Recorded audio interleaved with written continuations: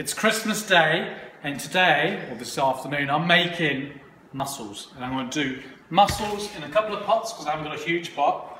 So I've got 5 kgs of mussels.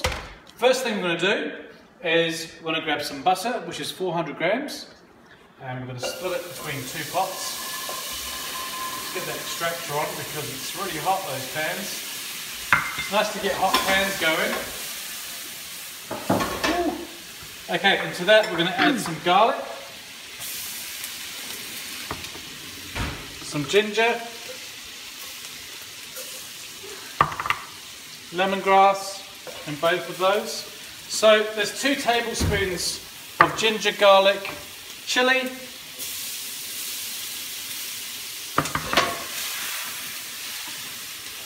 nice and hot. And it goes. We've got some lemon zest, spring onions, about a cup and a half. Zoom in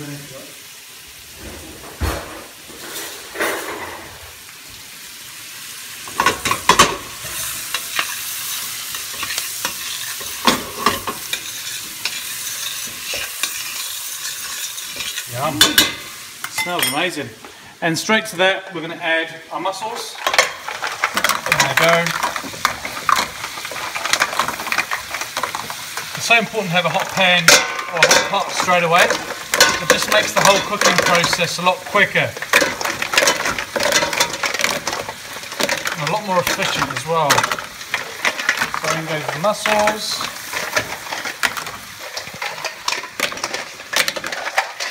Now I've cleaned the mussels, so I've taken all the um, you know, all the weeds off the ends there, so they're nice and clean. All right, lovely.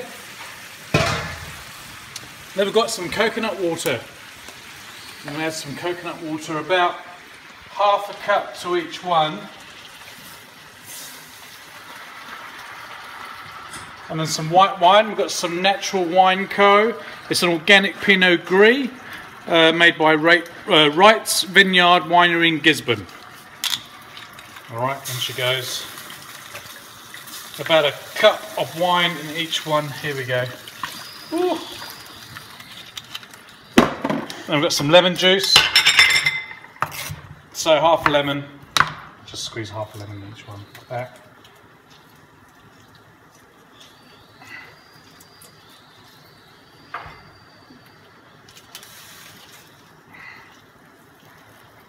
Beautiful. Now we're so lucky here in New Zealand to have these abundance of mussels all over the coast. You can go and forage for them if you haven't got access or you can't forage for them, you can buy them at the supermarket. There's always there's always mussels at the supermarket, and they have them running on a tidal system, which is brilliant. Okay, lemons. So um, I've got a, a half a lemon in each, plus a squeeze of half a lemon in each one as well. Salt and pepper. So about a tablespoon of salt and a tablespoon of pepper in there.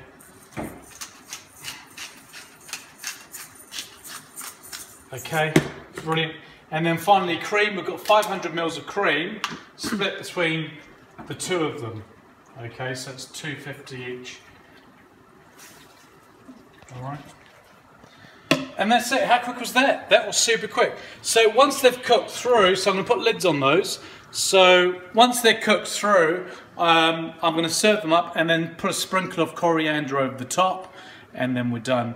But unfortunately I don't have coriander, so I'm going to use parsley instead because the coriander magically disappeared. Don't know where, it just went into thin air. But anyway, talk to you soon. Thanks, bye.